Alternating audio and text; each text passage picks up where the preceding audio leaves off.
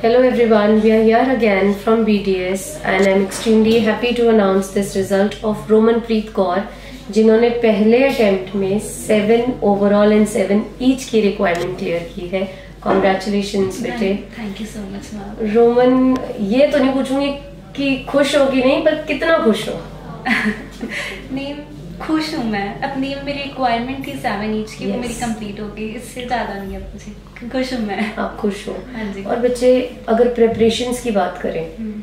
तो जो भी आपको टिप्स दिए जाते हैं या टेम्पलेट्स दिए जाते हैं आपको क्या लगता है कि वो एग्ज़ाम में हेल्पफुल रहते हैं हाँ जी मैम पूरे मतलब हेल्पफुल ही वही है और कुछ मैंने यूज़ भी नहीं किया। जो मुझे टैम्पलेट्स मिले वही मैंने एज इट इज़ उठाए वहाँ से। उसकी हेडिंग्स उसके कीवर्ड्स उठाए उसके अलावा मैंने not even a single word मैंने यूज़ किया वहाँ पर। मतलब पूरे हेल्पफुल हैं वो। इधर उधर कहीं भटकने की ज़रूरत नहीं है। नहीं है। अब जैसे स्टूडेंट्स अक्सर ये बोलते हैं कि मैम वो हिंदी या पंजाबी में अपने सेंटेंसेस बताते हैं। और बोलते हैं हम इसको वहाँ ऐसे लिख लेंगे। तो आप ऑलरेडी टेस्ट दे चुके हो आपको ऐसा लगता है कि वहाँ इतना टाइम होता है कि हम सोच सोच के सेंटेंसेस कन्वर्ट करके लिखें और फिर प्रूफ रीडिंग भी करें मैम पहले तो टाइम ही नहीं होता लेकिन इवन मेरे माइंड में भी थे सेंटेंसेस दो तीन जो मुझे लगा कि हाँ मैं उसमें लिख सकती हूँ पूरे रिलेट कर रहे थे हम्म। लेकिन मैंने फिर भी रिस्क नहीं लिया नहीं लिया। कि क्यों- क्योंकि मुझे मेरी ग्रामर पर थोड़ा सा डाउट था कि हाँ। हो सकती है इधर उधर इतने भी हम परफेक्ट है नहीं है।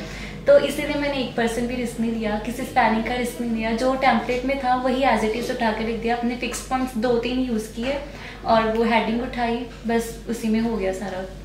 कुछ एक्स्ट्रा करने की ज़रूरत नहीं पड़ी।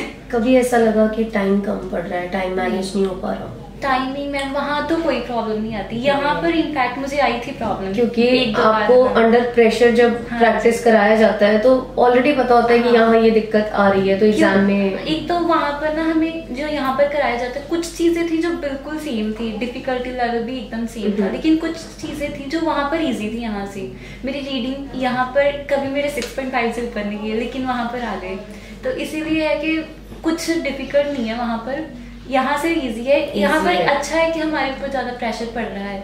इसीलिए क्योंकि हम पहले से प्रिपेयर्ड हैं यस आप प्रिपेयर्ड हो एक सर्टेन लेवल के लिए और हाँ अगर उससे इजी आ जाता है तो पेपर में कॉन्फिडेंस नेचुरली बच्चे का बढ़ जाता है।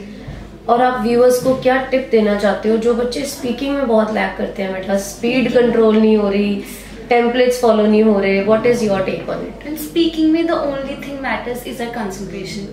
इधर उधर ध्यान ना जाए बस इतना ध्यान रखना पड़ता है वहाँ पर. क्योंकि स्पीकिंग में हमारे साथ इतने बच्चे होते हैं. बेशक वहाँ पर पार्टीशन बनी हुई है क्योंकि फिर भी प्रॉब्लम आवाज़ आती है। आवाज़ आती है ज़बरदस्ती उनकी कानों में आवाज़ पड़ती है. उसी उस चीज़ ऊपर कंट्रोल करना पड़ेगा. तो जैसे हम यहाँ पे प्रैक्टिस करते हैं हमारे लैब्स में तो अक्सर बच्चे कंप्लेन करते हैं मैम शोर आ रहा है मैम मेरी कॉन्सेंट्रेशन नहीं हो रही क्योंकि यहाँ से ज़्यादा शोर आता है वहाँ पर यहाँ पर टीचर्स है कंट्रोल करते हैं कि आपने इतने लेवल में करना है ना वहाँ पर कोई नहीं वो अपने मज़े से बोलते हैं बच्चे तो उस वहाँ ज़्यादा प्रॉब्लम आती है स्पीकिंग में ज़्यादा तो आपको लगता है कि थोड़े नॉइजी एनवायरमेंट में प्रैक्टिस करना हाँ। बेटर रहता है नॉइजी में ही करना चाहिए नॉइजी में ही करना हाँ। चाहिए अगर पीटी की स्पीकिंग क्लियर है करनी है। तो चलिए many congratulation once again and thank you for your wonderful advice on the test thank you Thank you so so much much. All the best for future thank you